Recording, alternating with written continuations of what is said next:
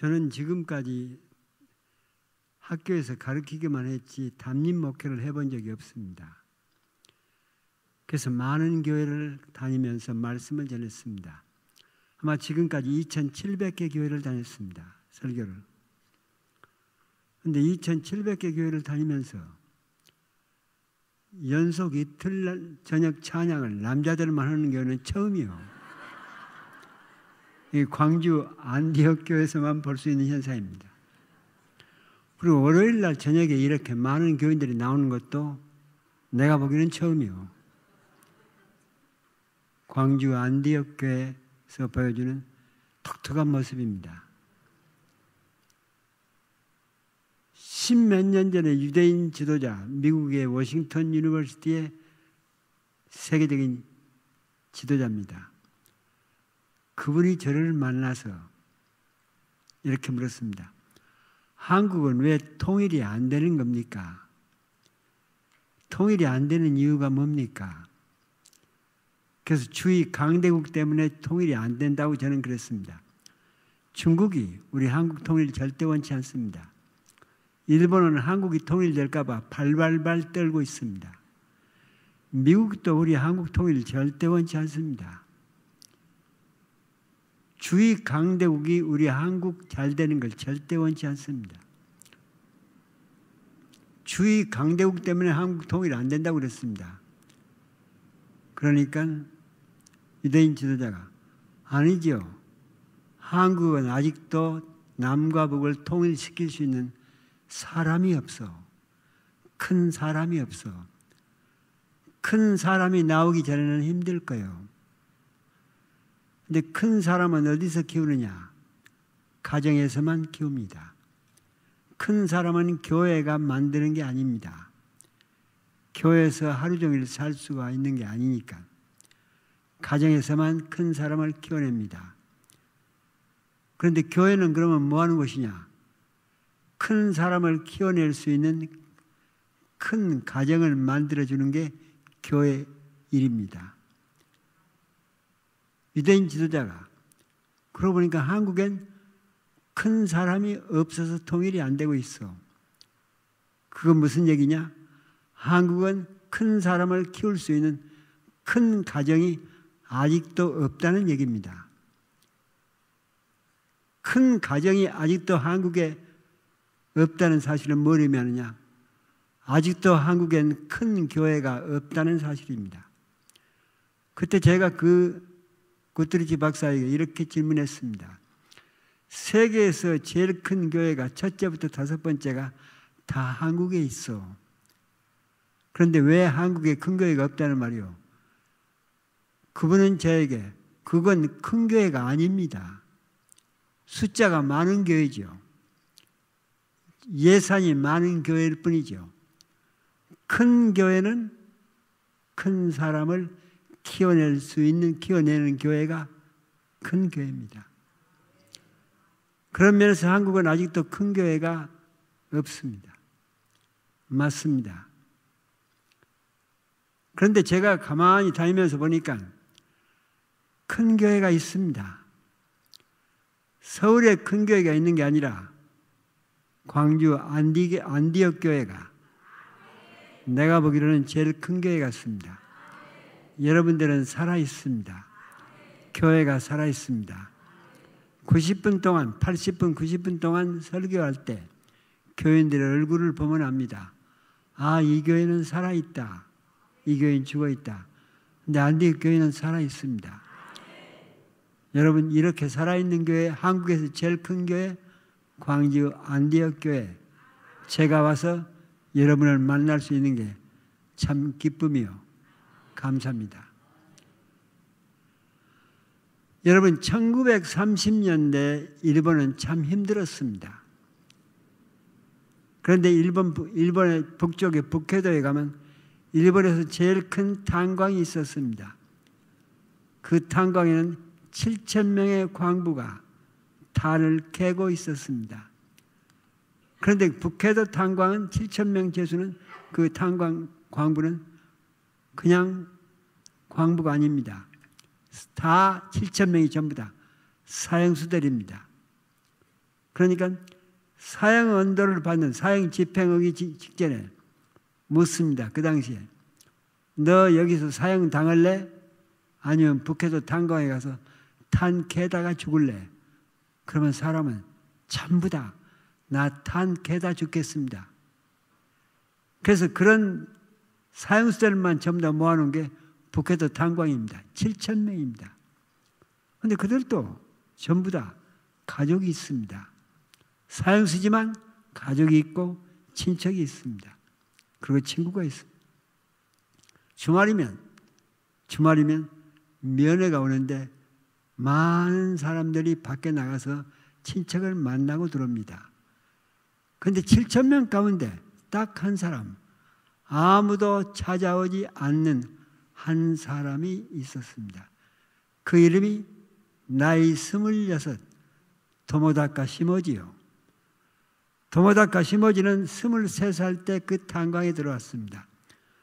왜 그 탄광에 들어왔느냐? 스물세 살 때 여섯 명을 죽였습니다. 살해했습니다. 그 때문에 사형 집행 전에 결국 북에서 탄광을 옵니다. 3년 동안 아무도 면회를 오는 사람이 없습니다. 그런데 면회를 올 사람이 사실은 없습니다. 시모지 고향은 북해도에서 8천리가 넘는 일본 제일 남단 바닷가 그 바닷가에서 다시 4시간, 5시간 배를 타고 가면 아주 조그마한 섬이 나타납니다. 그 섬은 한 마을로 이루어진 섬입니다. 거기가 시모지의 고향이요. 그런데 그 섬에는 어머니가 있긴 있습니다. 그런데 그 어머니는 꼽추요. 그리고 너무너무 몸이 약해서 몇 메타를 못 걸어갑니다. 그냥 주저앉고 주저앉고. 그리고 시모지 아버지가 일찍 세 살도 되기 전에 이 가족을 버리고 떠나가 버려서 죽은지 살았는지를 모릅니다. 너무나 가난했기 때문에 그 꼽친 엄마가 이 아들 데리고 돌아다니면서 구걸해가지고 겨우 먹여 살렸습니다. 그러니까 그 어머니가 북해도 7천리, 8천리를 면회를 올 수가 없습니다. 그리고 심어지는 애당초 기대를 하지 않습니다. 26살이 되는 어느 날 주말인데 40명이 한 방에 있는데 다른 사람들은 다 나갔습니다. 면회로. 심어지만 혼자 방 안에서 누워 있습니다. 그런데 간수가 딱 오더니 심어지 면회. 그때 심어지가 나한테 면회 올 사람이 없는 거야. 나한테는 면회 올 사람이 없는 거야. 이상해. 그러면서 따라 나갑니다. 나가보니까 이게 웬일이요? 꼽친 그 어머니가 철조망 밖에 철조망을 붙들고 이렇게 자기를 쳐다보고 있는 거야. 스물여섯 살된 시모지가 얼마나 독한 놈이냐. 그 어머니를 보는 순간 소리를 지릅니다. 나는 아들 아니요. 돌아가. 나는 아들 아니까. 그리고 돌아서서 들어가려고 그럽니다.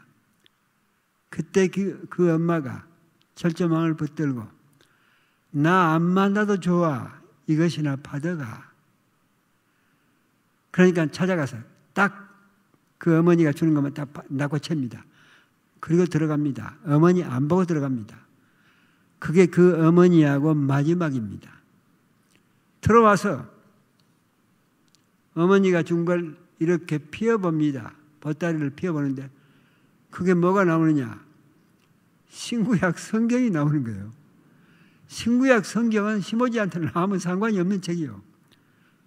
그러면서 픽 웃습니다. 이게 나한테 무슨 소용이 있다고 이걸 나한테 갖다 주고 그러고 방으로 던져버립니다. 1930년대 일본은 참 어려웠습니다. 근데 그때는 담배를 피우는 사람들은 반드시 종이를 말아, 담배를 말아가지고 피웠는데 종이는 정말 귀한 존재입니다.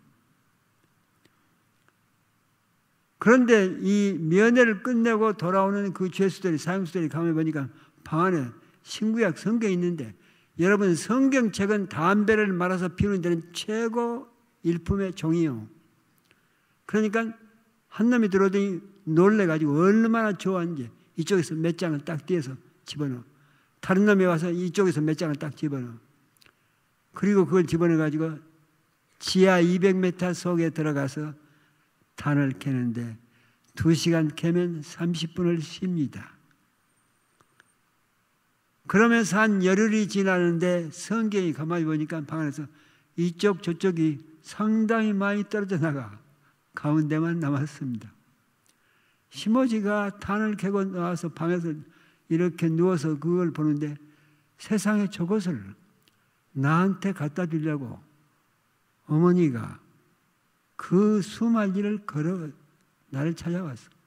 내가 너무한 거 아닌가 하고 누워서 그 양쪽이 상당히 많이 떨어져 나간 성경을 누워서 집어서 봅니다. 여러분, 성경은 신비한 책이요. 어떤 사람한테는 놀라운 힘을 가진 책입니다. 이 시모지가 그 성경을 누워서 딱 쳐다보는 순간에 자기도 모르게 성경으로 빠져듭니다. 빨려 들어갑니다. 그리고 성경에서 눈을 뗄 수가 없습니다. 밤이 깊도록.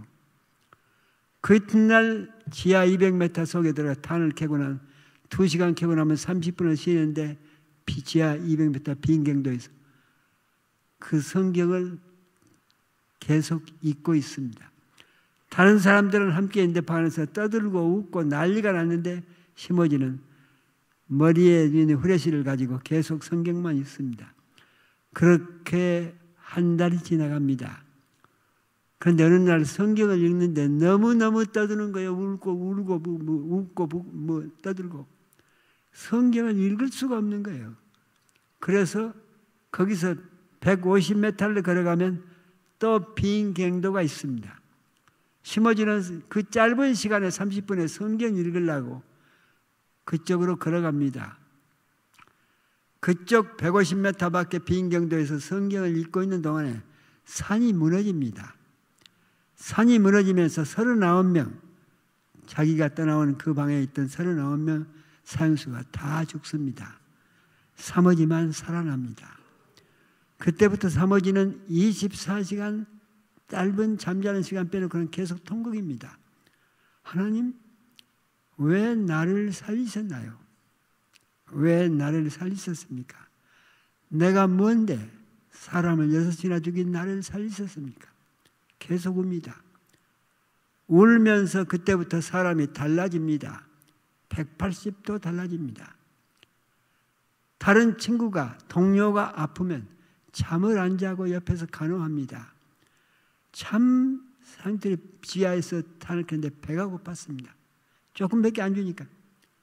그런데 어떤 아이가, 동료가 너무 연혈질로 아파하면 3일 동안을 금식을 하면서 자기 먹을 걸 아껴서 그 사람을 먹입니다. 3년 동안 심어지는 그렇게 살아갑니다. 그것이 소문이 나서 29에 심어지는 사면됩니다. 그리고 밖으로 나옵니다. 제일 먼저 찾아가는 곳이 어디냐? 연락이 안 됐으니까 어머니가 고향에 계신 줄 알았습니다. 그리고 고향을 찾아갑니다. 8,200리 남쪽으로 걸어와서 배를 타고 4시간, 5시간 타고 그 섬에를 갑니다. 섬에 가보니까 어머니는 이미 없습니다. 고향 사람들한테 한 마을로 이루어진 30호인가 40호로 이루어진 조그마한 마을인데 고향 사람들한테 우리 어머니가 북해도까지 나를 찾아오셨다고 이 얘기를 했습니다. 근데 섬 사람들이 놀라는 거예요. 네 어머니는 우리하고 함께 살았다. 네 어머니는 우리 섬을 떠나가 본 적이 없다. 네 섬, 네 어머니는 그리고 몇몇 타도 못 걸어가는 네 어머니야. 그 몸으로 북해도 너를 찾아갈 수가 없다. 첫째는 네 어머니가 우리하고 함께 살았고 우리 눈에서 벗어난 적이 없고 네 어머니 건강으로는 너를 찾아갈 수가 없고 세 번째는 네 어머니는 무일푼이야. 기차를 네 번이나 갈아타야 되는 그 엄청난 거리를 굉장히 많은 돈을 들여야 되는데 예비를 들여야 되는데 네 어머니는 그런 돈이 없어. 모든 사람들의 얘기가 똑같습니다. 그때 심어지는 아, 나를 찾아온 그분은 우리 어머니가 아니었어. 그분은 예수님이었어. 예수님이 시모지를 찾아왔는데 누구를 형상을 가지고 찾아왔냐? 어머니가 되어서 찾아온 겁니다. 그때부터 시모지는 예수님을 위해서 살기를 시작합니다. 일흔 아홉에 죽습니다. 일흔 아홉에 죽을 때까지 50년 동안 뭘 하느냐? 고아원 8개를 세웁니다. 중고등학교를 8개를 세웁니다. 일본 천황으로부터 교육자 대상, 사회복지 대상을 타고 죽습니다. 여러분, 예수님이 시모지를 찾아갔습니다. 누구의 모습으로 찾아갔느냐? 시모지의 어머니의 모습을 가지고 찾아간 겁니다. 여러분, 예수님 만난 적 있습니까? 오늘 저녁 제목이 내가 만난 예수님. 여러분도 분명히 예수님을 만났습니다. 어디선가 예수님을 만났습니다. 그런데 여러분이 그분이 예수님이라는 걸 확실히 기, 기억을 못할 뿐입니다. 여러분, 예수님을 만난 적 있나요? 예수님을 만나면, 예수님이 나를 찾아오시면 어떤 일이 일어나느냐? 내 팔자가 뒤집어집니다. 내 운명이 바뀝니다. 뭔가 내게서 놀라운 삶의 변화가 일어납니다. 어떤 놀라운 결단이 나에게 이루어집니다. 그 순간에 우리는 성령이 역사한다고 믿습니다. 근데 성령이 역사하는 순간 분명히 주님은 우리를 만나고 계시는 겁니다. 근데 주님이 만나는데 우리를 어떻게 만나느냐? 직접 절대로 보이시지 않습니다. 하나님도 예수님도 우리를 직접 보이시지 않습니다. 마태복음 25장 31절부터 43절까지 보면 이런 구절이 나옵니다. 예수님이 말씀이요. 예수님이 비유로 말씀하시는데 마지막 심판날에 주님이 사람들을 만납니다. 이쪽 한, 한 그룹을 만나고 이쪽 한 그룹을 모아놓고 이쪽 그룹한테 예수님이 뭐라고 그러느냐.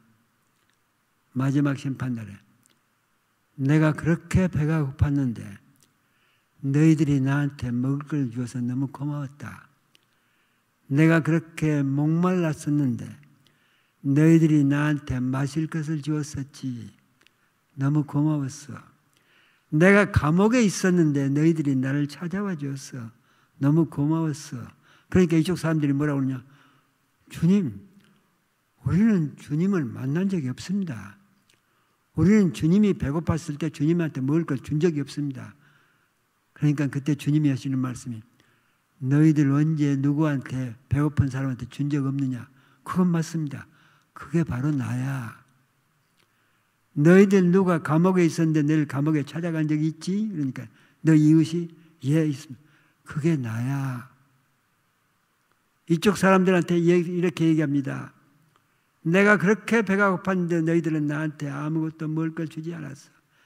내가 그렇게 헐벗었는데 추웠는데 뭘 입을 걸 주지도 않았어. 내가 감옥에 있었을 때 너희들 한 번도 찾아와 준 적이 없었어.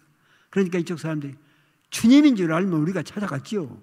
주님인 줄 알면 우리가 줬죠. 너희들이 그렇게 배고픈 사람 보면서도 지나쳐버린 게 바로 그게 나야. 예수님은 어떤 사람의 모습으로 우리에게 다가오시는 겁니다. 여러분, 소련의 유명한 문호 작가 톨스토이 얘기입니다. 여러분 잘 아는 얘기일 거예요. 어느 한 여인이 그렇게 예수님을 만나고 싶어 했습니다. 실제 예수님 모습을 만나고 싶어 했는데 어느 날 저녁 꿈에 예수님이 나타나 음성으로 나타나시는 거예요. 내일 내가 너희 집에 간다. 꿈을 깨고 났는데 예수님의 음성이었거든요.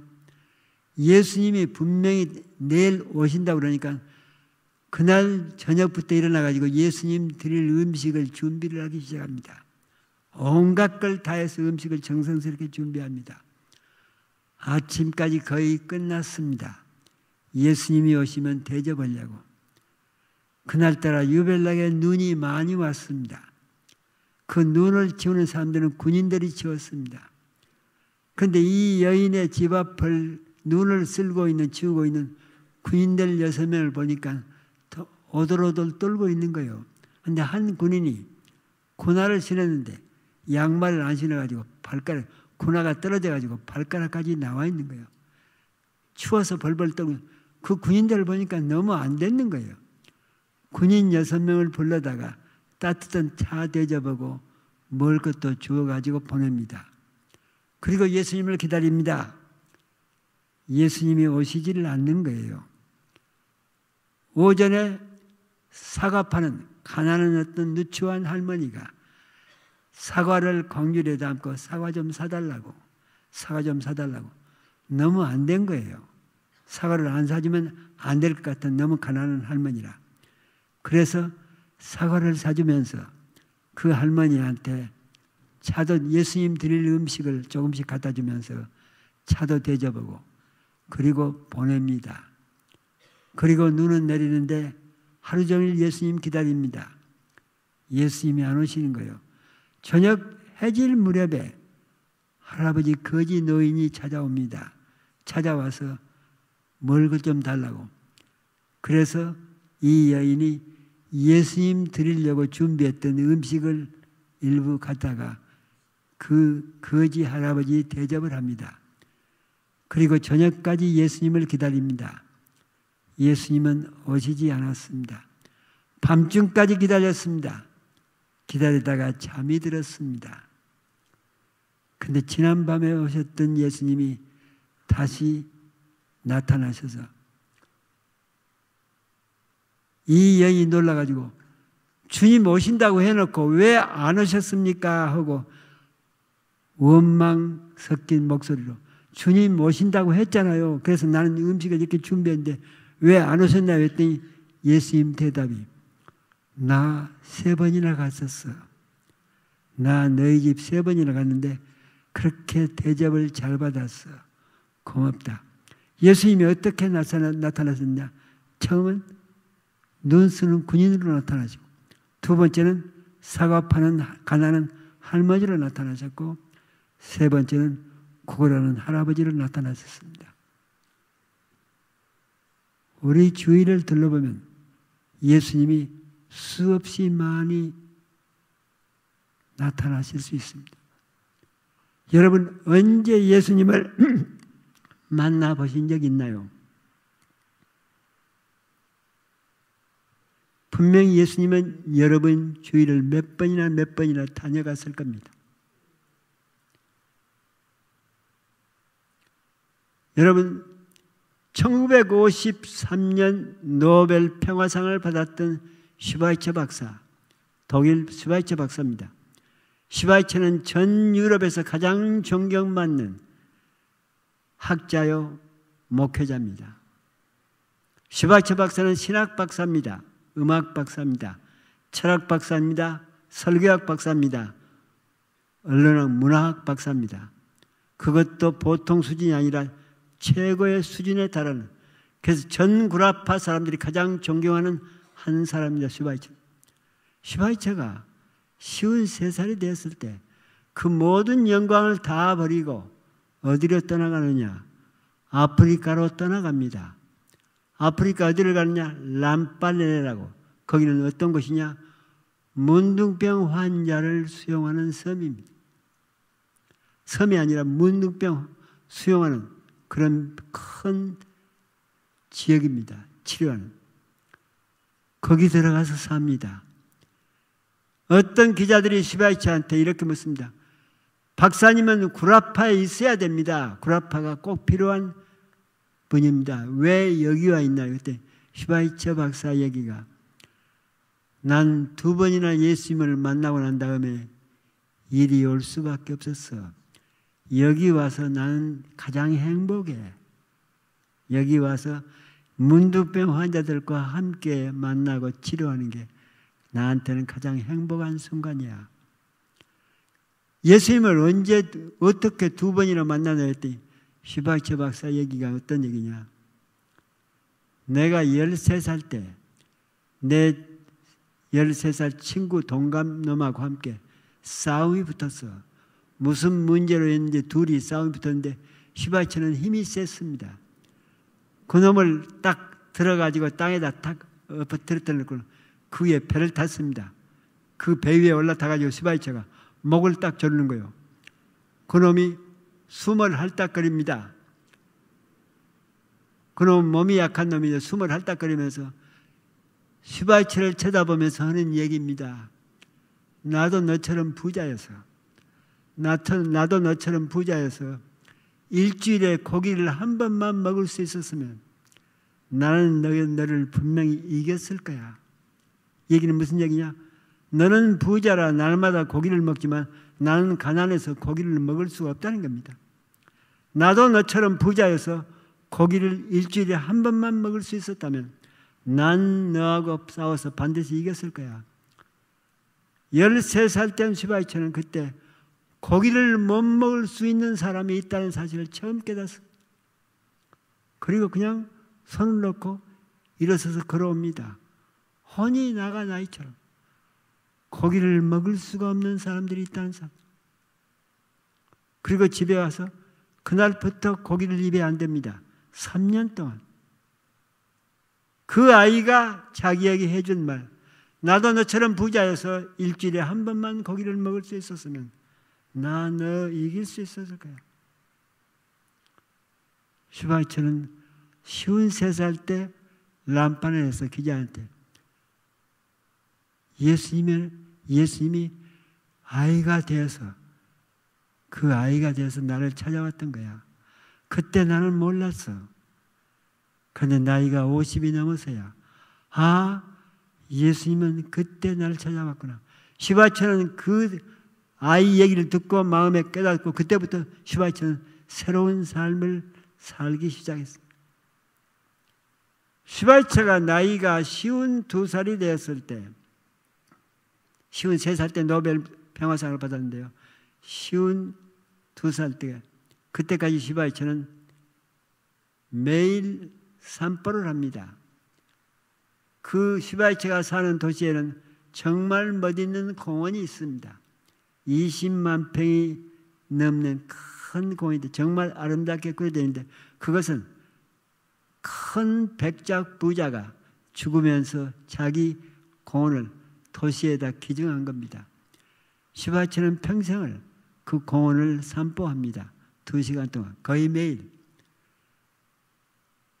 마지막 산보를 내서 돌아서 끝마무리 공원 밖으로 나오기 전에 그 공원을 기증했던 백작 동상이 딱 세워져 있습니다. 그 동상 밑에는 백작의 노예로 살았던 흑인 노예가 걸레 가지고 그 백작 발을 닦고 있는 모습도 같이 조각이 되어 있습니다. 수십 년 동안 시바처는 거기를 지나다녔습니다. 근데 쉬운 두 살이 된 어느 날, 그 앞을 딱 지나가는데 그 앞에서 팔이 얼어붙어서 그걸 바라보면서 시바이처는 계속 통곡을 합니다. 엉엉 통곡을 합니다. 뭐라고 하면서 통곡하느냐? 저 사람도 우리와 똑같은 사람인데 저 사람도 우리와 똑같은 사람인데 저 사람도 우리와 똑같은 사람인데 그 백작을 보고 하는 얘기가 아닙니다. 백작 발을 닦고 있는 걸레를 닦고 있는 흑인 노예 쉬운 두 살 시바이처가 그 흑인 노예를 보면서 저 사람도 우리와 똑같은 사람인데 저 사람도 우리와 똑같은 사람인데 그리고 1년 후에 모든 것을 다 정리하고 아프리카로 들어갑니다. 히바체는 그 순간에 주님이 그 동상을 통해서 자기를 찾아왔다고 그렇게 고백합니다. 예수님은 여러분을 어느 순간에 꼭 찾아갑니다. 여러분, 언제 주님을 만났는지 우리 한번 생각해 봅시다. 여러분의 삶에 놀라운 어떤 변화를 결단을 내린 순간이 있었을 겁니다. 성령이 뜨겁게 역사하는 순간이 있었을 겁니다.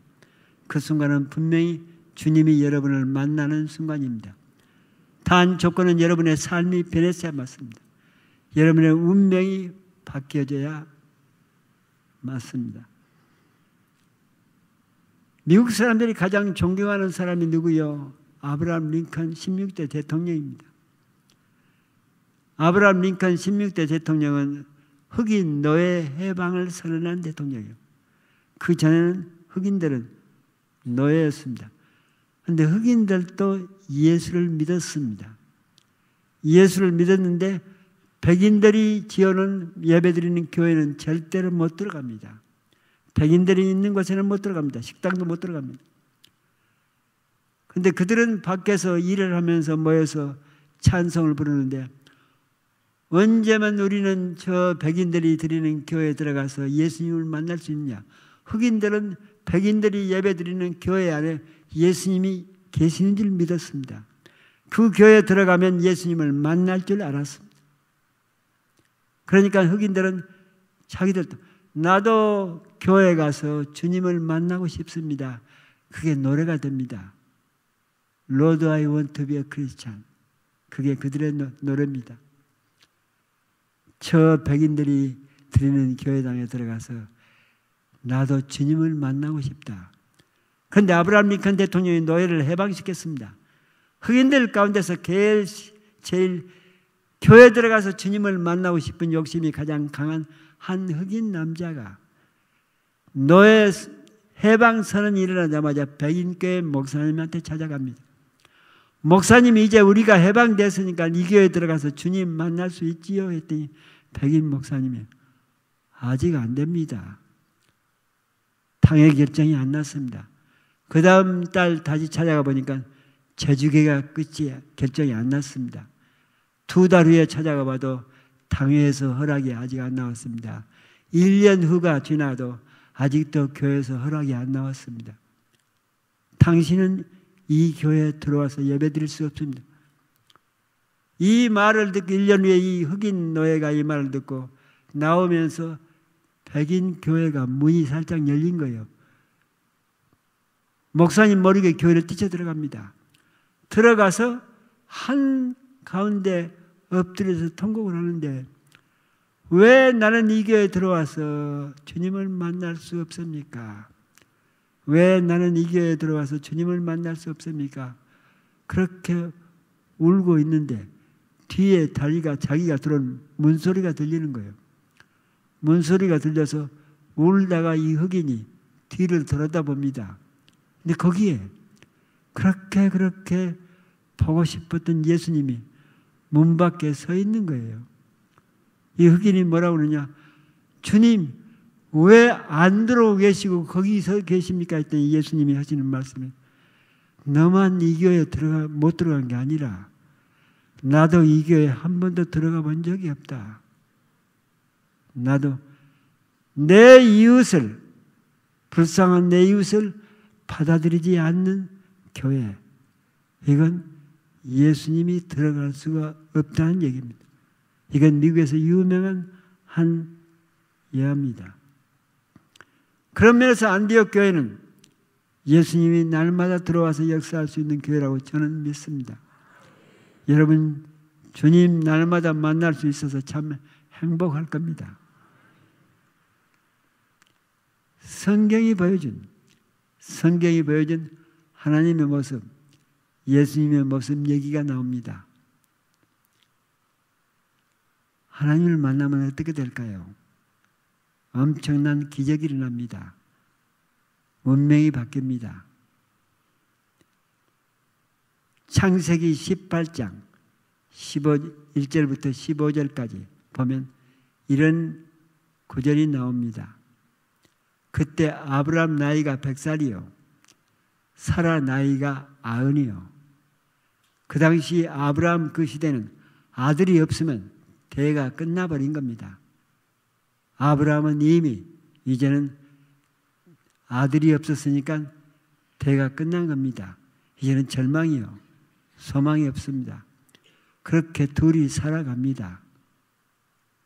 어느 날 아브라함이 문 밖에 이렇게 나와 있는데 저쪽에서 세 사람이 걸어오는 겁니다.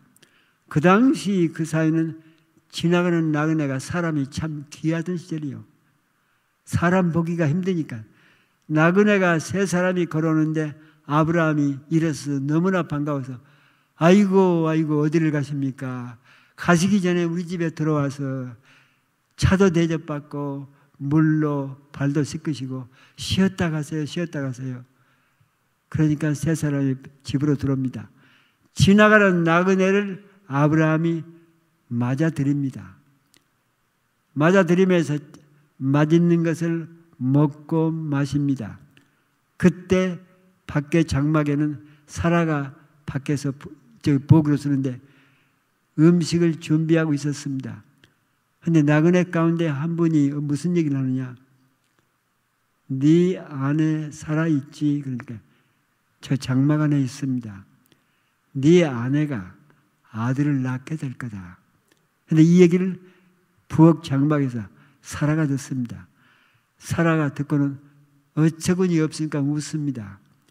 내 나이가 몇인지 저 사람들이 내가 내 나이가 몇인지를 몰라. 내 나이가 아흔이요. 자식은 웃으니까 이 나그네가 네 아내가 웃는다. 아브라함, 네 아내가 웃는다. 그래서 사라가 나 안 웃었습니다. 웃었다. 그러면서 다시 아브라함한테 너는 아들을 낳게 될 거다. 그리고 떠나갑니다. 그분이 누구였느냐? 성경에는 여호와 하나님이었습니다. 하나님이 나그네가 되어 가지고 아브라함을 찾아간 겁니다. 그 하나님이 아브라함의 운명을 바꿔주고 떠난 겁니다. 그 다음에 1년 후에 사라는 이삭을 낳습니다. 여러분, 주님을 만나면 도저히 불가능한 어떤 기적 같은 일들이 나한테 일어나도록 되어 있습니다. 여러분, 지금부터 주님 만날 준비합시다. 돌아다 보면 수도 없이 많은 주님이 어느 분이 어디에 있는지를 모릅니다. 여러분, 주님 만날 준비합시다. 어떤 사람한테도 여러분, 앙심 품으면 안 됩니다. 그분이 주님일 수도 있습니다. 근데 오늘 본문, 오늘 본문은 누가복음 24장, 24장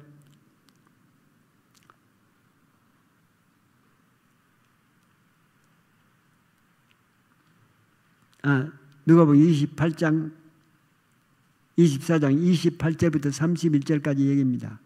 사실 1절부터 들어가는데 24장 1절부터 가는데 엠마오 도상 얘기입니다. 성경 볼 필요 없이 저를 보세요. 엠마오 도상의 두 제자 얘기입니다. 예수님의 정확한 열두 제자는 아니지만 예수, 예수님을 따르는 제자들입니다. 이 두 제자가 예수님이 십자가에 달려서 허망하게 죽어버린 다음에 완전히 절망합니다. 그리고 그 에르살렘에 있다가는 이제는 예, 예수님을 따라 다녔다는 제목으로 자기들도 다 죽게 됩니다. 그래서 도망갑니다. 어디로 도망가느냐?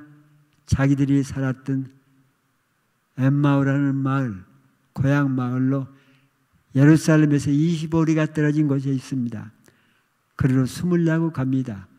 둘이 절망적인 마음으로 터덜터덜 걸어가면서 푸념을 합니다. 어떻게 예수님이 그렇게 허망하게 죽을 수가 있냐? 예수님이 큰 일을 할 줄 알았는데 어떻게 그렇게 허망하게 죽을 수가 있냐? 이런 푸념을 하고 갑니다. 둘이가 걸어가는데 갑자기 한 나그네가 끼어듭니다. 나그네가 끼어들어서 지금 무슨 얘기하고 있어? 그러니까 예루살렘에서 있었던 예수님이 죽은 얘기하고 있습니다. 그러면서 이, 예수님의 제자 둘이가 나그네하고 셋이 얘기를 계속 주고받습니다. 그러다가 석양 무렵이 되고 이제는 엠마오로 들어가야 됩니다. 꺾어서 들어가야 되는데 나그네는 그냥 갈라고 그러는 거야. 밤이 돼 가는데. 그러니까 두 제자가 그냥 지나가려고 하는 나그네를 이 밤에 어떻게 가시려고 그러십니까? 우리 집에 들어가서 하루 종일 주무시고 내일 가시면 어떻겠습니까? 제발 좀 같이 들어가서 쉬었다 가세요. 그러니까 마지 못해서 나그네가 따라 들어갑니다. 들어가서 저녁 식사가 차려왔는데 기도를 딱 하는데 나그네가 그 지나가는 지나가려고 나그네가 딱 기도를 하는데 보니까 예수님이야. 깜짝 놀랍니다.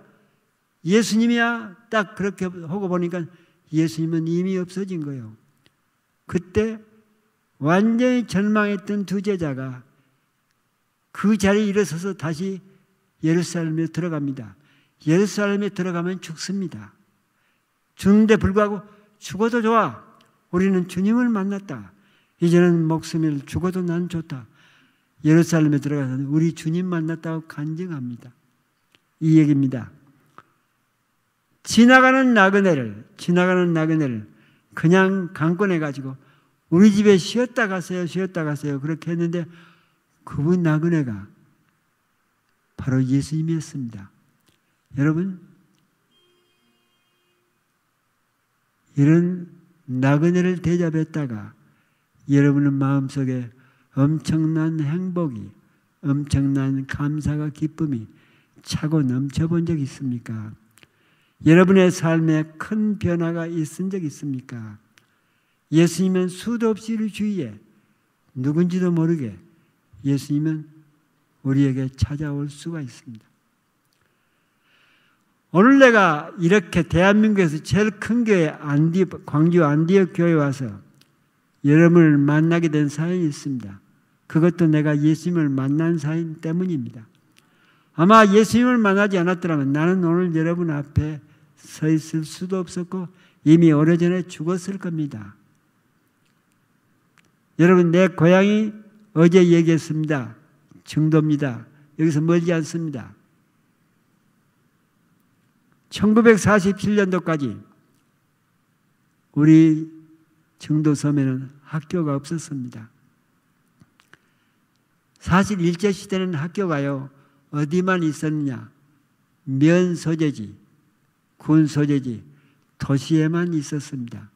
우리 같은 정도의 조그마한 섬에는 학교가 도저히 세워질 수가 없는 것입니다.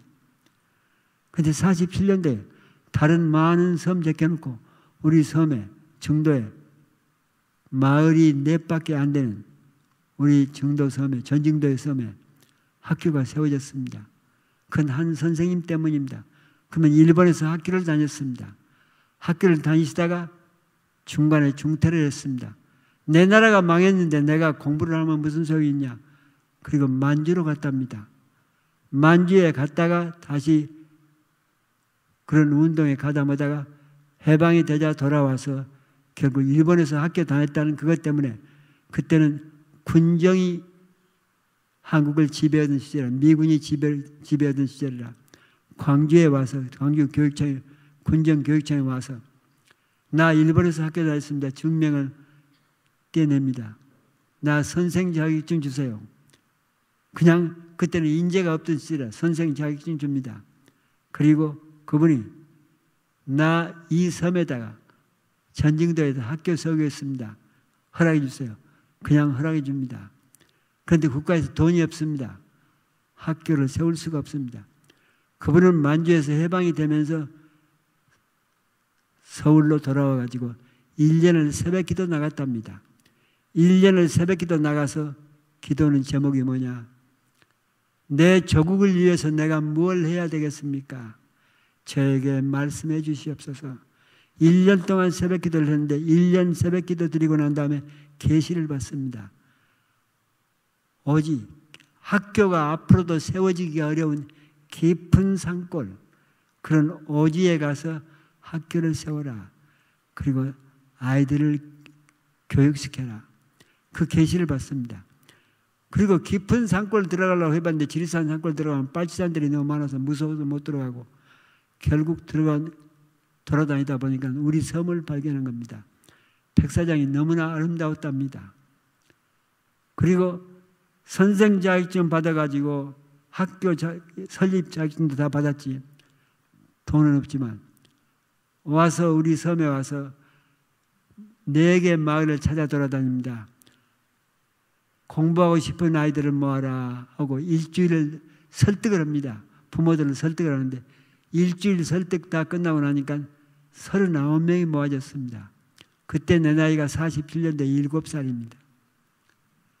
근데 7살 된 놈도 한 너댓 명, 10살 된 놈, 11살, 12살, 13살, 4살, 5살 나이 차이가 많습니다. 처음 학교가 시작되니까.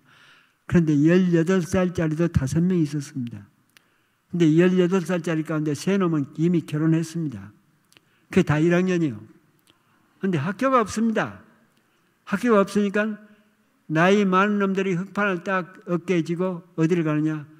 해변가로 나갑니다. 백사장. 여러분 백사장에 가면요. 푹 주저앉으면 꼭 방석에 앉는 기분입니다. 흑판 딱 꼽아놓고 공부를 가르치는데 그게 교실이요. 얼마나 멋있는 교실이요. 화해바다 바라보면서 다 앉아서 선생님. 근데 그 선생님은 지금 보니까 오전 내내 우리들을 모아놓고 성경만 가르쳐. 이게 국가에서 정식으로 인정한 학교인데 공부를 안 가르치고 성경만 가르치냐. 난 거기에서 여호수아 모세 모든 얘기를 성경 공부를 다 했습니다. 그리고 점심 먹고 다시 바닷가에 나가면 그때야 한글 가르치고 산수 가르칩니다. 그러니까 오전은 성경학교, 오후엔 국민학, 국민학교. 그런데 그 선생님은 시간대마다 만주에서 우리 국민들이 어떻게 당했는가, 일본한테 어떻게 죽어갔는가 그 얘기를 합니다. 만주 얘기만 하면 그렇게 그 선생님은 감정이 풍부했는지 얘기를 하면 선생님 눈에서 눈물이 뚝뚝 흘러 떨어집니다. 떨어지면서 얘기는 또 얘기대로 술술 나와. 눈물은 눈물대로 나오고. 우리들은 처음에는 선생님한테 그냥 감동을 했습니다. 근데 우리 섬 아이들이 영양실조로 마 자주 아파. 아프면 학교를 못 나와. 학교를 못 나오면 그 선생님은 신방을 꼭 가. 신방을 가는데 여러분 우리 그 당시 47년대 우리 섬에는요 양복 입고 구두 신는 사람은 그 선생님 하나뿐이요 역사적으로 아무도 없었어 그 선생님이 딱 집을 찾아 들어오니까 신방 온다고 오니까 부모들은 너무 어렵잖아요 그러니까 인사만 하고는 그냥 저쪽으로 가버려 방으로 그 선생님은 아이가 누워 있는 그 방에 들어가서 밤이 깊도록 혼자 기도하다가 찬송 부르다가 꼭 찬물 떠다 놓고 선생님이 가지고 온 수건 물에 담가서 머리에 얹혀놓고 기도하다. 그게 일이요. 날마다 신방 다니는 게 일이요. 그러니까 우리 섬 아이들이 부모한테 그런 사랑을 받아본 적이 없습니다. 부모한테 그런 인정을 받아본 적이 없어. 이게 5개월, 6개월 지나가니까 39명 아이들이 선생님한테 홀랑 반해 빠져버려요. 이 증거가 뭐냐? 선생님이 만주에서 독립운동을 할 때 얘기를 하면서 눈물을 뚝뚝 흘리면 39명 가운데 절반이 멍멍, 엉엉 웁니다. 펑펑 울어. 어떤 놈은 소리가, 소리를 치면서 우는데 저쪽 솔밭으로 들어가서 엉엉 울고. 그때 우리 기분은 뭐냐? 1학년 학생들이 6개월, 7개월, 8개월이 딱 가니까요. 나라를 위해서 우리는 다 죽을 각오가 다 돼. 나처럼 일곱 살짜리도 죽을 각오가 다 돼 있네. 얼마나 뜨거웠는지. 대한민국 이 나라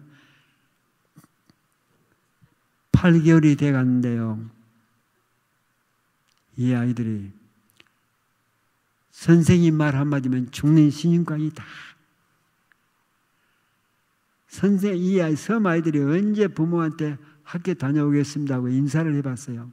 근데 선생님이 내일부터 어머니 아버지한테 학교 올 때는 꼭 90도 각도로 인사를 하면서 어머니 아버지 학교 다녀오겠습니다 인사를 하고 39명이 다 합니다.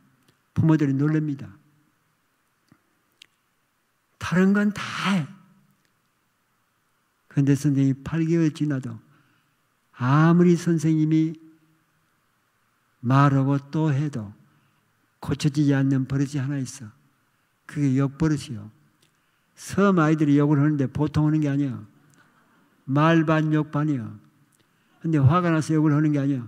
그냥, 그냥, 그때는요, 이 노트, 우리나라는 종이공장이 없었으니까 노트가 없었습니다. 노트는, 노트는 얼마든지 만들 수 있어. 왜냐? 미국에서 비, 원조로 비료, 비료가 나와 푸대에다가 비료가 들어있거든요. 그걸 딱 푸대를 실 뜯어가지고 비료를 딱 뿌리고 나면 여섯 겹이 비료 푸대요. 그 비료 푸대를 딱 하고 나면 노트가 열몇 건도 남아, 많이 나와. 그걸 바늘로 꼬매면. 근데 문제는 연필이라. 연필은 목포에 나와서 사야 되는데 섬 사람들 돈이 있나요? 그러니까 39명 가운데 20명 정도밖에 연필이 없었던 것 같습니다. 선생님이 교재는 없으니까 선생님이 흑판에 쓰면 우리들은 받아, 받아 쓰는 거예요. 근데 연필이 없는 놈들은 옆, 옆에 아이들 쳐다보고 있어. 빨리 쓰라고. 여러분, 연필을 빌려 쓰는 처지가 얼마나 아쉽소. 근데 연필을 빌려달라 하면서 꼭 욕을 하면서 빌려달래. 야, 이 개새끼야, 빨리 좀 써라. 그러면 이 연필을 빌려주는 놈도 그냥 이 연병으로 막, 이, 저, 뭐야, 연필도 없는 개새끼가 무슨 말이 많어. 근데 이게 화가 나는 게 아니요. 화가 나는 게 아니라 그냥 말이요. 우리 옆집 아줌마 딸이 순자요. 근데 순자를 부르는데 꼭 욕을 집어넣어. 그 딸이 혼자인데 얼마나 이 귀여워요. 순자 개년아. 순자야 오사잖아. 저 연병 좀 보소. 근데 이게 감정이 미워서 하는 게 아니에요. 그냥 정이 욕으로 터져 나옵니다. 그러니까 우리 섬 사람들은 여기 빠져버리면 말이 안 되는 거예요. 말이 힘이 없어. 맥이 빠져버려. 여기 들어가야 그 살아납니다. 작년인가요?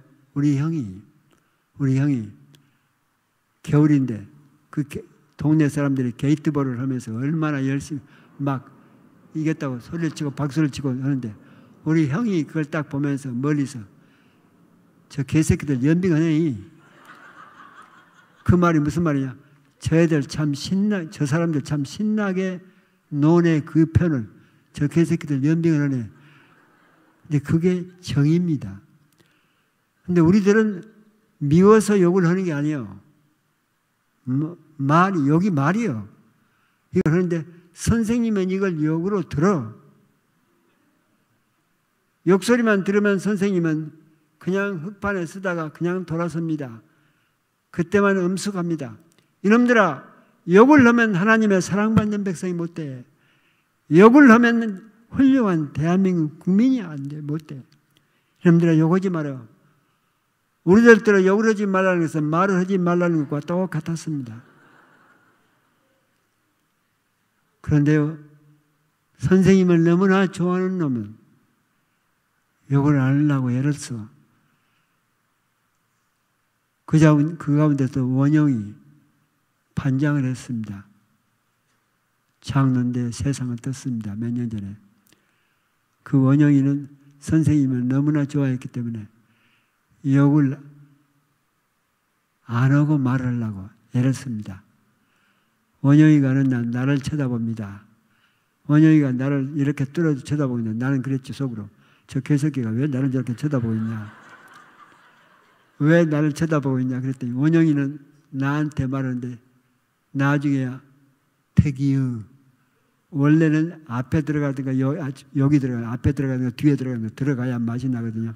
태기야 개새끼야 태기야 개새끼야 뭐딱 이게 나는데 욕을 빼고 말을 한다고 택이여. 택이여 그러니까 나머지 37명이 원형이 다 쳐다보면서 저 새끼 서울말 쓰네. 역을 빼고 말을 하면 그걸 흉이 됐든. 그런데 선생님은 1년이 지나고 2년이 지나도 이건 안 되는 거야. 1947년, 48년, 49년이 지나가는데도 역버릇은 이건 안 되는 겁니다. 1949년 그때는 정부에서 돈이 나와서 학교도 두 칸 지어졌습니다. 49년 11월 마지막 주 월요일 선생님이 그때 교장이자 선생님이 혼자 다녔으니까 선생님이 들어와서 우리 3학년부터 공부 가르치고 1, 2학년은 자습시켜놓고 수업 시간 들어오는데 선생님이 선생님 도장을 찍은 역표를 우리 3학년부터 역버릇을 고치겠다고 10장씩 나눠주는 겁니다. 한 사람 앞에. 39명한테 역표를 10장씩. 그리고 수업 시작하기 전에 오늘부터 누구든지 욕을 하면 제일 먼저 역소리를 듣는 사람이 역표를 뺏는다. 토요일 날 12시 종례 시간에 오늘 받은 10장 외에 10장을 더 뺏은 학생이 만일 나오면 그때 선생님이 49년도에 뭘 보여줬냐? 하얀 종이. 우리는 1949년도에 하얀 종이가 있다는 사실을 처음 봅니다. 우리 대한민국엔 종이 공장이 없었습니다. 네. 미국에서 원조 물품이 나오면 마카오에서 그 돈 가지고 마카오에서 하얀 종이를 수입해다가 노트로 만들어서 아마 배분을 했는데 도시학교, 면소재지 학교까지는 나왔는데 우리한테는 배당이 안 됐던가 봅니다. 우리는 그런 노트를 본 적이 없습니다.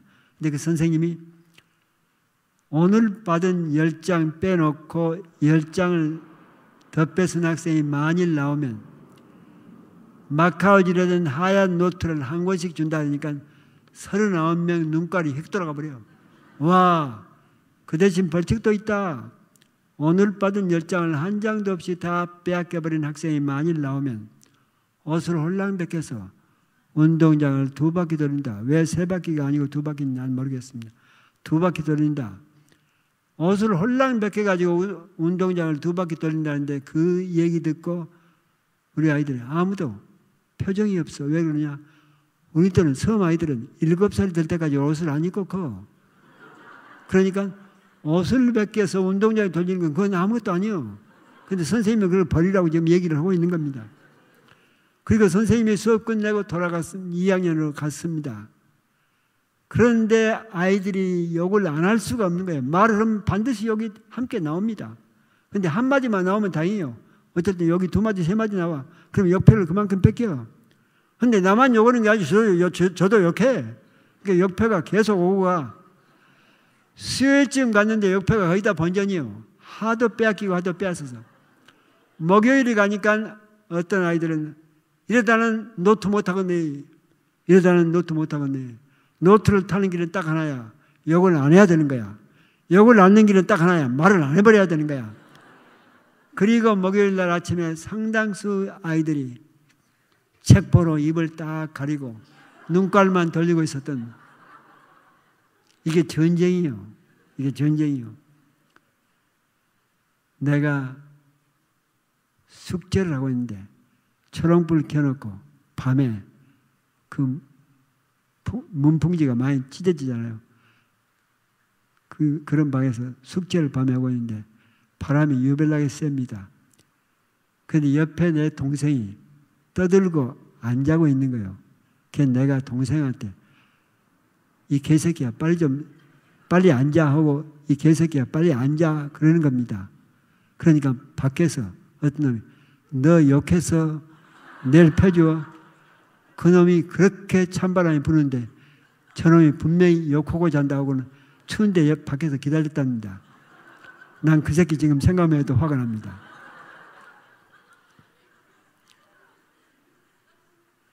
토요일이 왔습니다. 원영이 반장이 선생님한테 갔다 왔습니다. 12시. 정례 시간입니다. 선생님은 오시기 전에 반장이 갔다 오더니 역표 다 내놔 앞에 앞에 그런데 어떤 놈들은 얼마나 많이 뺏었으면 자기 열장딱 놔두고 40장을 더 뺏은 놈이 나왔어. 나이가 많은 놈들이 많이 뺏었습니다. 어떤 놈은 30장 더 뺏은 놈, 20장 더 뺏은 놈. 그 대신 뺏긴 아이들이 많았습니다. 어떤 아이는 두 장 다 뺏기고, 어떤 아이는 한 장.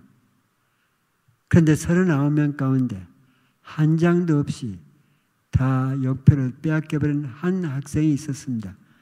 그게 바로 나요. 난 나 혼자 다 뺏겠다고 생각을 안 했습니다. 같이 옷을 벗고 돌아도 함께 돌면 재밌는 일, 재밌는 일이라. 난 나하고 함께 옷 벗고 돌 아이를 찾아 돌아다닙니다. 근데 다 있어.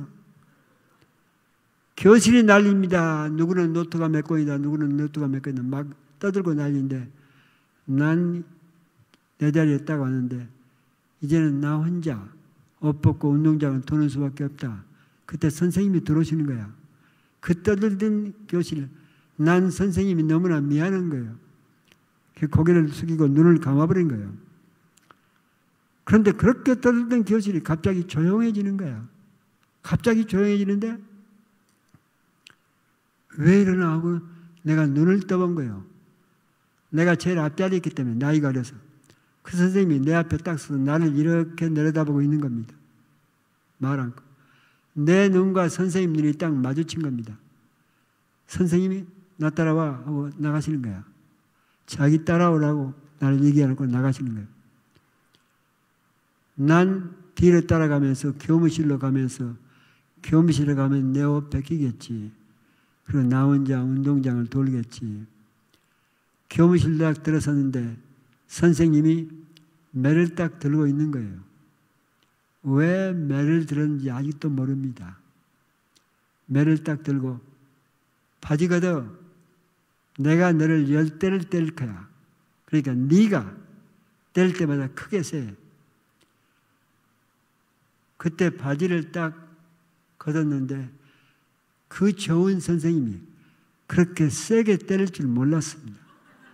딱 한 대 쳤는데 난 다리 부러지는 줄 알았습니다. 얼마나 아팠는지. 하나, 둘, 셋까지는 셌습니다. 근데 더 이상 셀 수가 없는. 너무 아프니까. 나도 모르게 엄살이 나온 거예요. 아이고, 매! 아이고, 매! 하면서 두 손으로 딱 매를 막은 거예요. 이건 내가 하려고 한게 나도 모르게. 아이고, 매! 하면서 두 손으로 딱 막았는데, 그때 선생님이 매를 못 내려치잖아요. 내가 막았어. 그렇게 우는 거예요. 그렇게 우는 거예요. 울면서 선생님이 나한테 하시는 말씀이요. 이놈아, 내가 너를 얼마나 믿었는데, 이놈아, 내가 너를 얼마나 믿었는데, 그 표현이 울음으로, 난 아버지 사랑을 모릅니다, 솔직히. 우리 아버지는 나 태어나기도 전에 아버지보다 세 살 더 많은 우리 엄에 두고 또 새 어머니를 맞아드립니다. 그 새 어머니가 몇 살이냐? 아버지보다 17살이 어린 처녀입니다. 다행스러운 것은 우리 한 집에 안 살았습니다. 저 작은 면, 그 멀리 떨어진 작은 면에다 살림을 차렸습니다. 사실 그때부터 우리 아버지, 어머니 갈등이 시작됩니다. 그쪽 그 예쁜 나중에 84살 때 돌아가신 모습 봤는데 그때도 미인이야. 그런데 17살 때는 어떤 미인이었겠어요?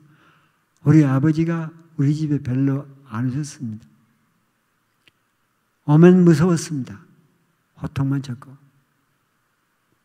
오면 어머니하고 싸움이 일어났고. 난 아버지 사랑을 전혀 모르고 컸습니다. 그런데 그 선생님이 그렇게 울면서 이놈아 내가 너를 얼마나 믿었는데 그 말을 들었는데 그때 내 나이가 10살이요. 한국 나이도 11살. 나는 그때 혼이 나갔습니다. 다시 돌아서 바지를 걷었습니다. 나머지 일곱 대 맞았습니다. 근데 아직도 모릅니다. 선생님이 가만히 때렸을까? 내가 아픔을 못 느꼈을까? 다 때려놓고 가. 그때 나는 돌아서 인사하고 가려고. 우리는 그렇게 교육을 받았기 때문에. 인사하려고 선생님한테 돌아왔더니 선생님은 내 인사 받지 않고 두 손을 얼굴 가리고 펑펑 울고 있는. 이때가 1949년 11월 마지막 주 토요일 모습. 그때는 나는 내 정신이 아닙니다. 혼이 나간 아입니다. 그건 폭탄이요. 선생님이 나한테 울면서 이놈아 내가 너를 얼마나 믿었는데 그 얘기는 나한테는 폭탄이요. 그리고 교실로 돌아옵니다. 교실로 돌아오니까 애들이 전부 다 유리창에서 운동장만 쳐다보고 있습니다. 내가 옷 벗고 나올 줄 알고. 그냥 들어오니까 난리가 났습니다. 왜 그냥 왔는가? 근데 아이들이 나한테 하는 얘기는 아무것도 아니에요. 내 책상에 와서 머리를 파묻고 소리소리 치면서 우는 겁니다. 울면서 내가 한 말입니다. 나도 크면 선생님처럼 훌륭한 신앙인이 될 거야. 나도 크면 선생님처럼 나라를 사랑할 거야. 나도 크면 선생님처럼 다른 사람을 사랑할 거야. 이게 오늘 내가 된 겁니다. 여러분, 나는 정시요. 여러분, 영의정 좌의정을 했던 성강정철 14대 손이요. 300년 전에 우리 고조, 고조 할아버지가 유배 왔습니다. 그리고 거기 자리 잡았습니다. 영일 정시들은 양반집이라고 절대 교회 나가면 안 됩니다. 초상 제사를 안 지내기 때문에. 나가면 죽습니다. 아무도 우리 집안 사람들은 교회 나갈 생각 못 합니다. 근데 내가 목포로 나와서 교회 나갑니다. 그리고 신학교 갑니다. 그럼 미국 가서 공부합니다. 돌아와서 신학교 교수가 되고 목사가 됩니다. 내가 미국에 돌아와서 신학교 교수 되면서 목사가 되니까 그때야 우리 형제들은 내 체면 봐가지고 교회 나가야 된다고 그때부터 교회 나가기 시작했습니다. 내가 목사가 돼가지고 여러분을 만나게 된 사이는 전적으로 그 선생님 사건이에요. 그때 와서 나도 크면 선생님처럼 훌륭한 신앙이 될 거야. 나도 크면 선생님처럼 나라를 사랑할 거야. 여러분, 그때부터 지금까지 나는 평생 꿈이 있습니다. 나라를 위해서 죽는 겁니다. 한국 전쟁 때 우리 고등학교 졸업 무렵 때요. 한국 전쟁이 지나온 졸업 때는 우리 가난했습니다. 10명 고등학교 10명 졸업을 하면 2명 대학을 갈까 말까. 나머지 대학 못 간 아이들은 굉장히 좌절을 합니다. 가난해서 우리는 대학을 못 간다. 근데 나한테는 그 좌절이 대학 못 가? 대학 못 가면 어때? 대학 안 가면 어때? 안중구처럼 윤봉길처럼 나라를 위해서 죽으면 얼마나 훌륭한 일인데 왜 꼭 대학을 가려고 그래? 나라를 위해서 죽으면 되는 건데 난 그렇게 살았습니다. 지금도 그게 변함이 없습니다. 내 나이 80이요. 내 나이 80인데 지금도 내 꿈은 나라가 필요하다면 언제나 나는 죽는 겁니다. 우리나라가 다른 나라와 전쟁이 붙어 난이 80 나이에 반드시 전쟁 나갈 겁니다. 젊은 사람처럼 총 들고 달릴 수 없어. 나는 호흡 파놓고 있으면서 기관총은 쏠 수는 있어. 군대 갔다 왔으니까. 그런데 북한하고 싸우면 난 전쟁에 안 나갈 거요 우리 큰형 한국 전쟁 전사했습니다. 그거로 조갑니다. 동포끼리, 우리 동포끼리 총 들고 전쟁하는 것은 짐승들이 하는 짓입니다. 형제끼리 전쟁하는 것은 짐승들만 하는 짓입니다. 우리는 한국 전쟁 때 그 짓을 했습니다. 난 그런 전쟁은 안 나갈 겁니다. 그런데 단 중국하고 전쟁하면 일본하고 전쟁하면 난 10명, 20명 죽이고 나 죽을 거예요. 난 지금도 국가에다 당당히 총을 요청할 겁니다. 지금도 그런 마음으로 살고 있습니다. 난 12년 동안 미국에서 내 전공이 있습니다. 치유 상담입니다. 치유 상담이요? 일반 세상 상담은 정보를 제공해 주는 상담이요. 상대방이 모르는 걸 내가 가르쳐 주는 겁니다. 그것 가지고는 사람은 절대 변하지 않습니다. 그런데 치유 상담은 그 사람을 위해서 눈물로 기도하는 마음 없으면 안 됩니다. 내 마음을 알아주고 내 아픔을 알아주고 내가 기뻐할 때 함께 기뻐해주고 나를 무조건 존중해주고 불어주는 그런 상담을 만날 때만 사람은 바꿔지도록 됐습니다. 나도 모르게 들어가서 그 전공을 한 겁니다. 근데 그런 사연이 나도 모르게 되어진 일인데 보니까 10살 때 선생님한테 매 맞고 나도 크면 선생님처럼 다른 사람을 사랑할 거야. 그게 나를 만든 겁니다. 그러니까 내 삶은 그 선생님이 만들었습니다. 나중에 나이가 많이 들어서 미국에서야 아 그분이 나한테는 예수님이었어. 예수님은 그 선생님이 되어가지고 나에게 찾아오신 겁니다. 그러니까 내 삶을 바꿨죠. 내 삶을 바꿨죠. 주님을 만나면 반드시 내 삶이 바뀌어집니다. 놀라운 어떤 결단이 들어섭니다. 난 이렇게 살지 않을 거야. 난 이렇게 살아갈 거야. 다른 사람을 위해 살아갈 거야. 나를 위해서 살아갈 거야. 여러분, 이런 예수님을 만나보신 적 있어? 예수님은 하늘에 있지 않습니다. 우리 안에서 우리와 함께 살아가십니다. 그런데 나한테는 병이 있습니다. 우리 아버지 어머니가 너무 싸웠잖아요. 어제 얘기했습니다. 아버지 어머니가 싸우면 아버지 어머니가 싸우면 아이들은 깨져버립니다. 깨지면 제 기능을 못합니다. 나는 다른 이유가 하나도 없습니다. 아버지한테 매맞은 일도 없고 아버지한테 욕설을 들어본 적도 없습니다. 그런데 아버지 어머니가 싸우는 모습을 보았습니다. 그런데 그 싸움도 두 번밖에 기억이 안 납니다. 그 두 번밖에 안 보는 그 싸움은 나를 그렇게 만들지 않았습니다. 근데 어떤 싸움이 내가 모르는 내가 태어났는데 우리 아버지 어머니가 싸운 거예요. 우리 어머니가 농사를 많이 지었는데 그걸 우리 어머니가 지은 농사를 가져가려고 그러니까 우리 어머니가 그걸 용납을 하는 거죠. 우리 아버지는 양반이라고 손찌검 못합니다. 욕설 못합니다. 말로 싸웁니다. 우리 어머니 애가가 보통 집안이 아니요. 워낙 셉니다. 우리 아버지가 어머니한테 아무렇게 상대할 수가 없습니다. 어머니도 당당합니다.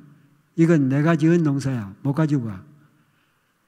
말로 이런 싸움이 벌어지는데 3일 가면 우리 어머니는 싸움이 시작되면서부터서 물도 못 마십니다.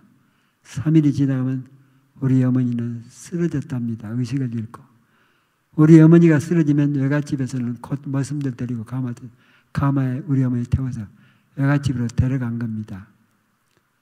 나는 그냥 놔두고 할머니도 없는 집에 동네 아주머니한테 맡겼대요. 어린아이가 한 살 반이면 아빠 엄마가 싸우는 걸 제일 정확하게 감지하는 나이랍니다. 영국 발표. 두 살 때는 더 셉니다. 세 살 때. 그런데 우리 어머니가 나를 두고 매년 매년 외갓집에 가서 어쩔 때는 두 달, 어쩔 때는 다섯 달. 그 아픔을 내가 견딘 겁니다. 아버지 목소리가 커지면 반드시 3일 지나면 어머니가 없어지는 사건이. 이걸 누가 아느냐? 아이가 감지는 그러니까 누가 무서움의 대상이냐? 아버지가 무서움의 대상입니다. 난 이유가 없이 아버지 앞에 벌벌 떨었습니다. 아버지 앞에서 벌벌 떨면 세상을 향해서 벌벌 떨도록 되어 있습니다. 어떤 누구한테도 자신감을 못 갖도록 되어 있습니다.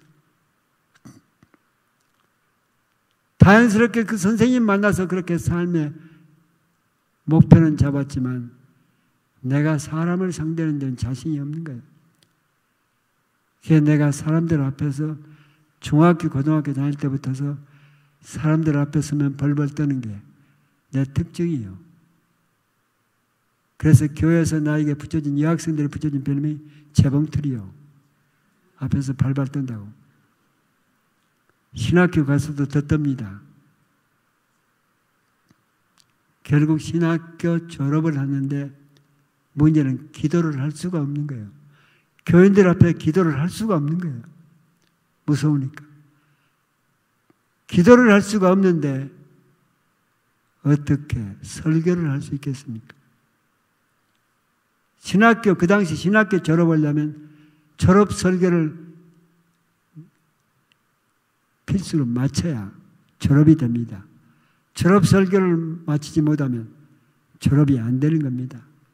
근데 나한테는 전교생 앞에 두고 교수들 앞에 두고 설교를 한다는 사실이 나한테는 어려운 일이에요. 그때 나는 몇 개월을 고민을 학교를 잘 태울까 아니면 죽어버릴까 별 생각을 그때 내가 묘안을 생각해 냅니다. 설교를 쓰자. 토시 하나까지 다 쓰자. 그리고 설교 원고를 가지고 올라가자. 올라가서 절대로 앞에 앉는 학교 예배실에 앉아있는 학생들은 낮바닥이나 눈깔 쳐다보지 말자. 교수들. 그리고 설교 원고만 읽고 내려오자. 그대로 어떤 누구 얼굴도 안 쳐다보고 올라가서 설교 원고 읽고 내려왔습니다. 근데 그걸로 끝나지 않았습니다. 졸업 설교 끝나고 난 다음에 졸업반들은 그 강의당에 다 모입니다. 그리고 강의 없는 교수님들 다 모입니다. 그리고 내가 한 설교를 평가를, 졸업 설교 평가를 합니다. 한 시간 동안. 그 한 시간 동안 그 졸업생들, 교수들이 다 평가를 하는데 전부 다가 이구동성으로 하는 얘기가 너는 목회하면 안 돼. 너는 설교를 하면 안 돼. 네 음성은 절대로 설교 음성이 아니야. 네가 목회를 하면 교회 망해. 너는 교회 하면 안 돼. 전부 다. 난 그 개새끼들 지금 생각해도 화가 납니다.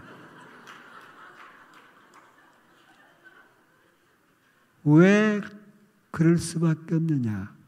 왜 너는 사람들 앞에 설교를 할 수가 없냐? 왜 그렇게 떠느냐? 뭐가 너를 그렇게 만들었냐? 왜 그렇게 생각하는 교수가 하나도 없었을까요? 지금도 어떤 신학교도 그걸 캐묻는 교수 없습니다. 그런데 목회자가 그러기가 쉽지 않습니다. 배운 것이 없습니다. 90명, 100명 학생들, 교수들이 전부 다 한 시간 동안 떠들어지는 얘기가 너는 목회길로 가면 안 돼. 네가 가면 교회 망해. 네 음성은 설교 목소리가 아니야. 그때 나는 맞아, 맞아. 나는 목회길로 들어서면 안 되는 거야. 난 설교를 할 수가 없는 사람이야. 난 기도할 수. 그래서 나는 교회로 못 갔습니다. 신학교 졸업하고. 제 안양에 있는 공장으로 들어갑니다. 공장도 그때는 백이 없으면 못 들어가는 시절이라 요즘으로 말하자면 비정규직. 그 당시는 비정규직이라고 얘기 않고 날일꾼, 날일꾼. 나일은 공장에서 만드는 나일은 실박스를 트럭에다 실어주는 일을 합니다. 그 일만 7년을 했습니다. 얼마나 트럭에다 나일론 실박스를 어깨에 다 안고 실는 거니. 지금도 내 어깨가 균형이 안 맞습니다. 뼈가 그렇게 굳어버려서. 다른 애들은 전부 다 목사까지 됐는데 난 이렇게 살고 있는 거야. 그렇게 되면 뭐가 나를 사로잡느냐? 절망이 나를 사로잡습니다. 인생의 의미를 찾아낼 수가 없습니다. 그 다음에 나를 찾는 게 우울증입니다. 우울증이 심하게 찾아옵니다. 우울증이 깊어지면 유혹이 옵니다. 그만두고 싶은 세상을 그만두고 싶은 아내가 있습니다. 애들이 있습니다. 그런데 내가 죽으려고 합니다. 7년이 되는 어느 날, 1968년, 어떤 친구가 나한테 왔습니다. 그 친구는 같이 졸업했는데 이 목사 됐습니다.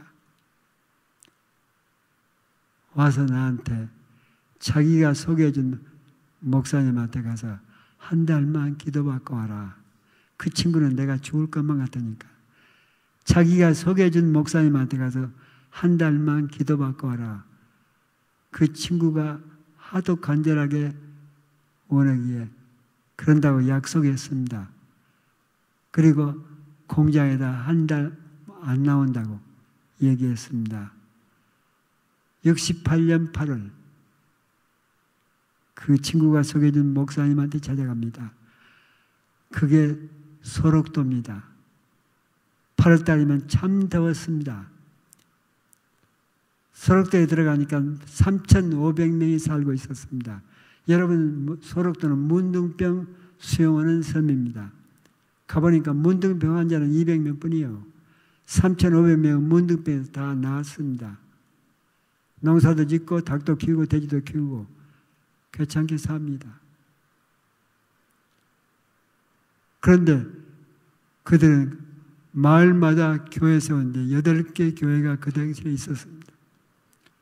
그들은 새벽 기도 90분, 낮 예배 90분, 밤 예배 90분, 1년 365일 예배로 돌아갑니다.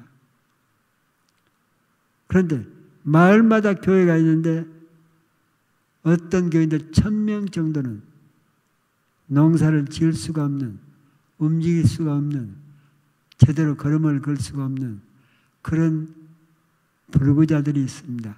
문득병 너무나 심하게 알았기 때문에 그들이 모이는 교회는 중앙교회당입니다.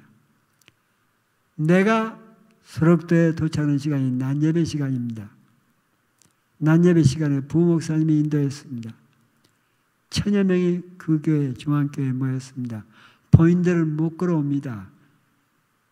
좀 건강한 사람들이 리아카에다 너댓, 서너 명, 너댓 명 싣고 끌고 와서 안 하다가 업어다가 갖다 놓은 그런 교인들이 천여 명 있습니다. 난 내가 친구가 소개해준 교회로 가려면 아직도 20분 이상을 걸어가야 돼.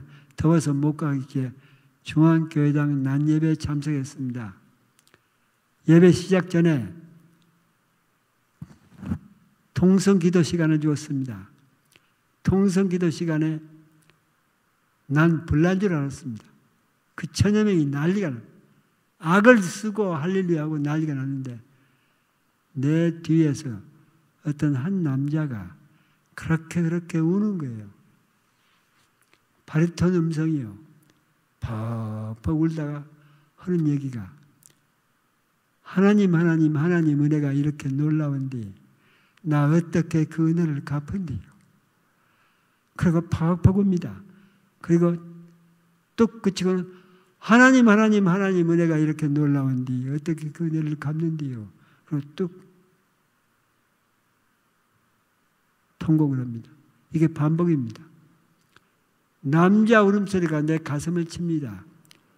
어떤 사람은 얼마나 하나님 은혜가 놀라우면 저럴까 하고 나는 기도도 안 나오니까 그냥 있다가 눈을 뜨고 뒤를 돌아다봅니다. 깜짝 놀랍니다. 남자요. 그리고 사람이요. 근데 사람이 아니요. 왜냐? 코가 없습니다. 귀가 없습니다. 눈이 붙었습니다, 하나가. 그리고 입이 돌아갔습니다. 그쯤 되면요, 보니까 손이 없, 손목이 없습니다. 멍덩이죠. 그쯤 되면 얼굴은 숯불에다 집어넣어서 이글이글 타고 난 다음에 끄집어낸 얼굴 그대로요. 그런데 그 붙어버린 눈 사이로 그냥 구멍이 바로 뚫렸는데 콧물이 나오면서 하나님, 하나님, 하나님 은혜가 이렇게 놀라운데 어떻게 그 은혜를 갚는데 그 모습을 보는 순간에 나도 모르게 발끝에서부터 뜨거운 어떤 뭐가 불이 올라오는데 그것이 불이 뭐로 터 소리로 터져 나오는 거야. 악 소리가 터져 나오는데 이걸 내가 참을 길이 없는 거야. 이 소리가 터져 나오는데 이걸 내가 막을 수가 없는 거야. 악, 악, 막 터져 나오니까. 놀래가지고 내가 이렇게 소리를 지르면 예배가 나중에 곧 시작 안될 텐데. 그리고 넘어집니다. 넘어지면서 딱 손으로 입을 가리고는 소리 안 지르려고 발버둥 치는데 이 소리가 막 터져 나오는데 이걸 막을 길이 없는 거예요. 한 1분, 2분 그렇게 엎어져 가지고 소리를 질렀는데 그분이 나를 툭툭 몽둥이 손으로 툭툭 치면서 예배 끝났어요. 일어나세요. 여러분 예배는 시작도 안 됐어 아직. 근데 이분이 나를 이렇게 세우려고. 난 이 예배는 시작도 안 됐으니까 막 소리 안 지르려고 발버둥 치는데 한참 있다가 또 툭툭 치는 거예요. 예배 끝났어요. 일어나세요. 내가 느끼기로는 두 번, 세 번, 그래서 내가 눈을 뜬 거예요. 눈을 떠보니까 이게 웬일이요? 아무도 없는 거야. 그 천여명이 아무도 없고 그분하고 나가 둘이. 이게 2분, 3분 안에 이뤄진 일이요. 알고 보니까 2분, 3분 내가 발버둥 치는 순간에 90분이 지나간 거예요. 이걸 뭐라고 그러냐? 황홀경이라고 그럽니다. 영어로는 엑스타시. 성령이 내게 임했을 때, 주님이 내게 임했을 때, 내게 일어나는 변화입니다. 난 미국에서 공부하면서 켄터키에서 공부하면서 토마스 머튼 거기는 소리내서 기도하지 않습니다. 명상으로 묵상으로 토마스 머슨 명상 수련회 가면요 수도사들이 열 명이고 몇 명이고 기도합니다. 이렇게 의자에 앉아서 두 손을 딱 들고 두 손을 들고 기도하는데 그 기도하는 시간이 얼마냐? 평균 18시간에서 23시간입니다. 한 번 손 딱 들면 무릎 꿇고 딱 손을 들면 18시간에서 23시간인데 기도 끝나고 난 그분 수도사들한테 물으면 얼마 동안이나 기도하셨나요? 했더니 전부 대답이 10분 했나요? 내가 15분 했나요? 이 놀라운 경험들. 나한테는 그것이 처음이자 마지막 경험이요. 나중에 그분이 왜 안 가고 있었던가 보니까 내가 확 넘어지면서 입을 막았는데 그분 바지가랑이를 입에 딱 물고 막은 거예요.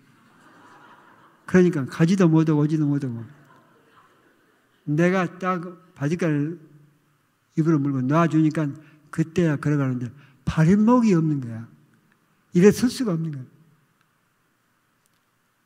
밖으로 나가서 난 그때는 마음 놓고 소리를 치면서 울었습니다. 밖에 나가서 앉아 있는 그분한테 누구를 기다리고 데려갈 사람을 기다리고 있는 거죠. 할아버지 할아버지 그러니까 자기 할아버지 아니래요. 나중에 48살 된 박권찰입니다. 권찰님 권찰님 뭐가 그렇게 고마우세요 하나님한테 내 질문 속에 이런 의미가 있습니다. 당신은 고마울 게 없어. 당신이 눈이 제대로 붙었어. 코가 있어. 귀가 있어. 손목 있어. 발목 있어. 얼굴이 제대로 있어. 당신이 뭐 때문에 감사해요? 내 질문 속에 하나님 무슨 은혜가 그렇게 고마우세요 했더니 그때 그분이 일어서지 못하고 춤을 추는 거야. 고맙고 말고 감사하고 말고 뭐가요 했더니 내가 문둥병 알았더니 내 고향이 나를 버리고 내 친척이 나를 버리고 마지막에 내 가정까지 나를 버렸어. 그런데 소록도까지 나를 따라와서 나에게 기쁨과 감사를 주시는 분이 있어. 그분이 누구야 했더니 예수래요. 난 그때야 예수가 어떤 분이냐. 난 그때 울면서 그분한테 사정을 하는 겁니다. 권찰님 나는 갈 데가 없습니다. 난 갈 데가 없습니다. 나 좀 재워주세요. 근데 자기가 있는 방이 배당받은 방이 두 평이 안 된대요. 두 사람이 잘 수가 없대요. 나는 그때 울면서 나 누워서 잠 안 잘 겁니다. 하도 우니까 그럼 같이 가재요. 같이 갔습니다. 그 권찰님, 박상천 권찰님하고 14일 동안 함께 먹고 잤습니다. 14일 동안. 날마다 옵니다. 그분은 나를 붙들고 14일 동안 나는 박상천 권찰님한테 보았습니다. 한 번도 한 번도 불만이 없는 뭐가 그렇게 당당한지 날마다 기쁘고 날마다 감사하고 날마다 행복하고 부러울 것이 없습니다. 당당합니다. 한 번이라도 어떤 틈이 보여 안 보입니다.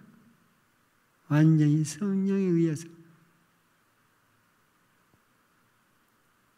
그런데 나를 위해서 붙들고 기도할 때는 그렇게 펑펑 웁니다. 난 이 세상 태어나서 그렇게 많이 울어본 때가 없었습니다. 함께 14일을 사는데 그날 밤 둘이 새벽 3시까지 울다가 기도하다가 얘기 나누다가 잠이 들었습니다. 15일째 되는 아침에 좀 늦게 눈을 떴습니다. 햇살이 창 사이로 들어 내 얼굴을 딱 비치는데 그때 나도 모르게 떨떡 일어나서 아니야! 인생은 못 있는 거야. 인생은 아름다운 거야. 인생은 행복한 거야. 인생은 살아야 되는 거야. 그러면서 가방 싸들고 올라옵니다. 안양의 공장으로. 공장에 올라와서 그날 헌 책방에 가서 책을 샀습니다. 그 책이 옛날에 영어 참고서 메들리 삼위일체 600페이지입니다. 영어 참고서입니다. 그걸 공장에 들어가서도 있고 집에서도 있고 공장의 추럭에다가 나이런 실박스 몇톤 추럭에 실어놓으면 2시간, 3시간 후에 또 추럭이 옵니다. 그 빈 시간이 있습니다. 그때는 그 책을 탐독합니다. 1년을 그렇게 그 책을 탐독했습니다. 근데 어느 날 회사에 갔는데 그 책을 집에다 놓고 잊어버리고 온 거예요. 공장에 가서 빈 시간에 눈 감고 이렇게 또 봤는데 놀라운 사실은 그 메들리 3일째 600페이지가 1페이지부터 문장이 다 나타나는 거예요, 나한테. 보니까 600페이지가 다 보여. 이걸 600페이지를 다 외운다는 겁니다. 내가 외운다는 걸 알고 내 친구가 너 이렇게 있을 게 아니고 미국 갈 수 있는 길을 택하자. 그게 뭐냐? 그 당시는 우리나라 사람들이 미국 가는 시절이 아닙니다. 가는 길이 딱 하나 있습니다. 우리나라는 후진국이라 미국에서 170개 대학에서 장학금을 받아냅니다. 미국 국가에서. 그리고 한국 정부에다 넘깁니다. 170명 학생을 선발해서 미국으로 보내라. 완전 장학금이다. 한국 정부에서는 170명 선발 고시를 합니다. 그걸 문교부 유학 고시, 문교부 유학 시험. 그, 그 시험을 내가 응시합니다. 그리고 합격합니다. 난 지금도 광화문 게시판에 내 수험번호 168번 잊지 않습니다. 그래가지고 내가 미국으로 떠나갑니다. 내 운명이 바뀌어지는 순간입니다. 서로 미국에 가서 가장 힘들었던 게 말을 못하는 거였습니다. 말을 안 배웠으니까. 근데 그럴 때마다 나에게 힘을 주는 것은 박상정 고찰님의 편지입니다. 그 편지만 받으면 내가 통곡을 합니다. 읽으면서 또 읽어도 울고 울고 나면 힘이 생깁니다. 그런데 문제는 박상정 권찰님은 편지를 못 씁니다. 한글을 모릅니다. 학교를 다녀본 적이 없으니까. 옆에 대필자가 편지를 대신 써줍니다. 어쩔 때는 대필자가 박상정 고찰님이 불러준 것을 그대로 쓰면서 옆에다가 자기 얘기를 씁니다. 지금 박상정 권찰님이 이 편지를 읽어주면서 저렇게 저렇게 울고 있다. 그때마다 나는 엄청난 신비의 힘을 4년을 그렇게 그 편지로 힘을 받았는데 편지가 안 오는 거예요. 한 6개월 동안 안 오는 거예요. 6개월 후에 편지가 왔습니다. 그건 박성정 고찰님의 편지가 아니었습니다. 대필자의 편지였습니다. 권사님이 세상을 떴다는 겁니다. 지금도 내 마음속에 누가 나한테 묻는다면 이 세상에서 제일 존경하는 영적인 스승이 누굽니까? 부르면 박상청 권찰님. 한글을 모르는 코가 없는 귀가 없는 눈이 붓고 입이 돌아간 손목 발목이 없는 아무것도 내놓을 것이 없는 박상영 권찰님. 그런데 그분은 예수님이었습니다. 저는 예수님을 만난 겁니다. 그분 만나서 내 운명이 바뀌어졌습니다. 아브라함 사라가 팔자가 뒤집어졌어요. 내 운명도 결국 초등학교 때는 선생님 예수, 나중에는 소록도 박성정 권, 권찰님 예수. 난 그들의 사랑에 빛을 지고 삽니다. 여러분, 살다가 보면 여기저기 이렇게 훌륭한 많은 좋은 예수님들을 만날 수 있습니다. 우리 그렇게 살아갑시다. 기도합시다.